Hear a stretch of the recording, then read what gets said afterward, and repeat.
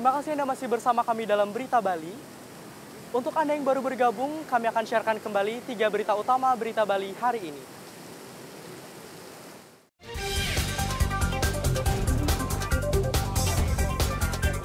Wisatawan di Pantai Legian digemparkan dengan kemunculan seekor buaya sepanjang 3 meter.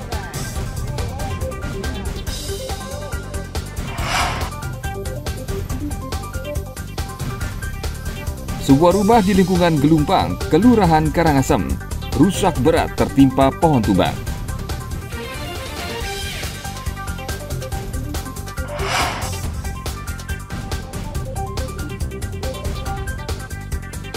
Objek wisata di Kabupaten Jembrana ramai dikunjungi wisatawan saat libur Hari Raya Galungan.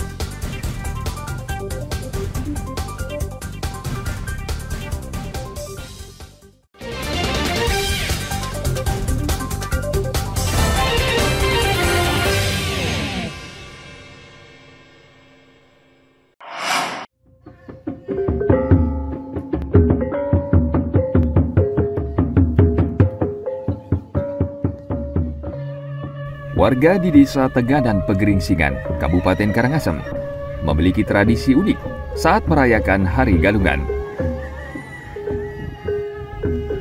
Warga di desa ini tidak membuat atau memasang penjor seperti umat Hindu di desa lainnya. Bentuk dan jenis sesajen yang dipersembahkan juga berbeda. Pihak desa adat menunjuk sejumlah orang untuk membuat sesajen yang disebut Banten Uduhan. Sesajen berupa enam tumpengan ini ditata dalam tiga dulang berukuran besar, lengkap dengan berbagai jenis kue dan hasil bumi. Pihak adat juga menunjuk beberapa warga untuk mengaturkan sesajen ke sejumlah pura.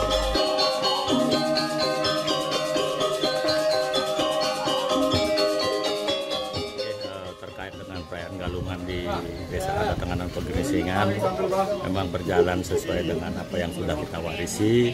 Mungkin agak berbeda dengan desa-desa uh, yang ada di Bali. Contohnya kalau Galungan kami di sini tidak penjor karena penjor itu uh, didirikan pada sasi kelima atau sama.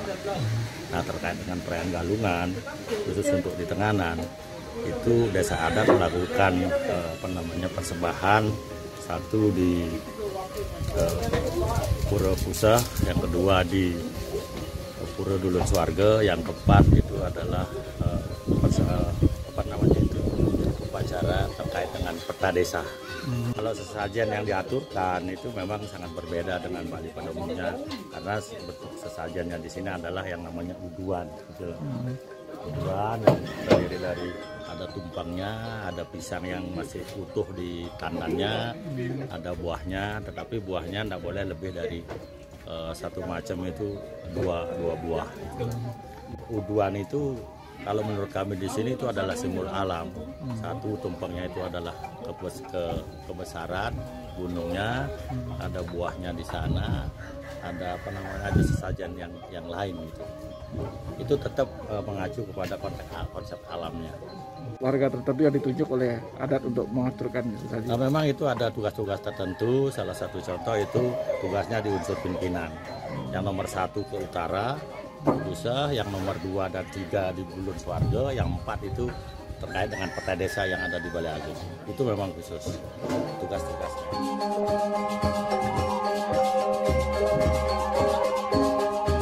Banten Uduhan sendiri merupakan simbol dari alam semesta.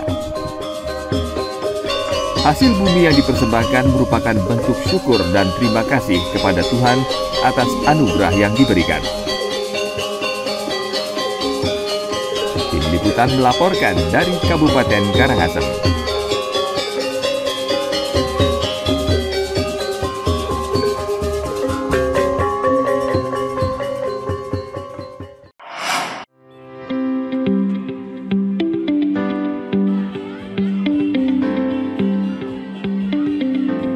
Objek wisata di Kabupaten Jembrana ramai dikunjungi wisatawan saat libur Hari Raya Galungan.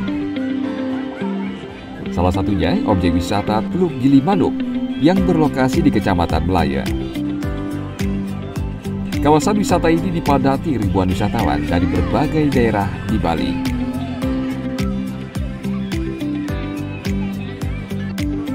Di tempat ini, wisatawan bisa mengelilingi Pulau Kalong dengan menyewa perahu sambil melihat suasana hutan bakau.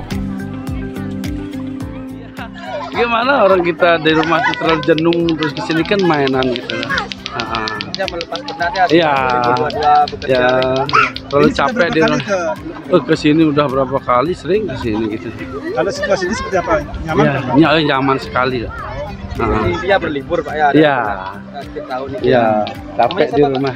Saya ini Dari mana Pak? dari Medewi. Umurnya berapa Pak? Oh, pa- 48. Eh, ya penyewaan kapal di Gilimanuk ini meningkat dari yang sebelumnya kurang lebih 50% kita ada peningkatan. Yang sebelumnya kita jalan sekali-sekali, sekarang kita sudah jalan dua kali, bahkan ada yang sudah tiga kali Mas. Maksudnya kebanyakan eh, mereka wis- wisatawan ke Teluk Gilimanuk berasal dari mana? Eh, kalau kita di sini beberapa pengunjung ada yang berasal dari daerah Jemberana, daerah Negara, Melaya, Tukadaya, intinya di Jemberana lah. Nah, dan juga kita ada peningkatan dari daerah Buleleng juga ada, daerah Buleleng ada, bahkan dari Tabanan pun juga ada, dan pasar pun juga ada. Bahkan tadi juga kita tamu-tamu dari luar negeri juga ada. Ah, salah satunya tadi tamu dari Rusia, ada beberapa orang kurang lebih 8 sampai 10 orang tamu dari Rusia, dan mereka sekarang lagi mengadakan eh, kegiatan wisata snorkeling di daerah Pasir Putih, Mas. Selama pandemi COVID-19, objek wisata alam ini sepi kunjungan wisatawan.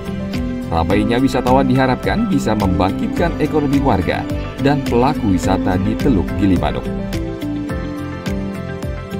Tim Liputan melaporkan dari Kabupaten Jemberana.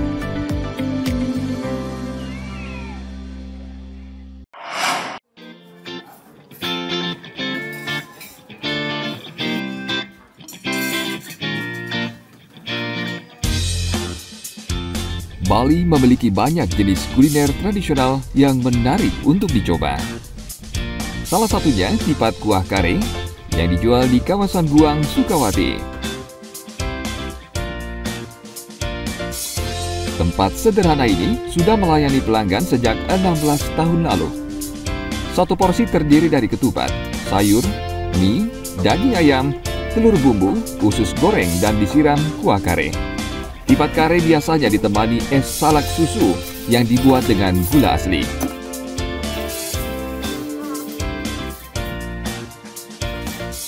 Di sini kan eh, spesialnya tipat kare ya Bu. Ya, seporsi itu apa aja sih? isinya eh, ada ayam, ada telur, terus ada apa usus. Mm-mm.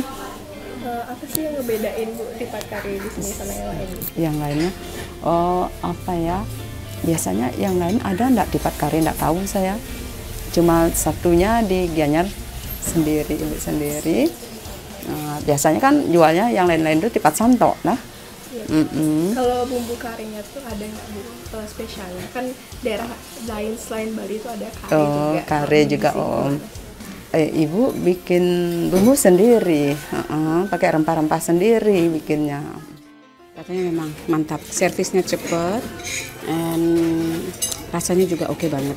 Ya, ah, ini tampilan daripada ayam kare, eh, tipat kare, ya tipat kare itu dia ada mie-nya, ada sayurnya, emang dia taste-nya kuat banget, terasa banget.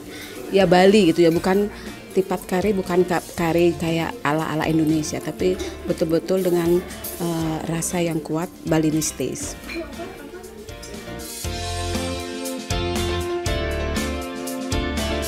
Satu porsi tipat kuah kare dijual seharga Rp15.000.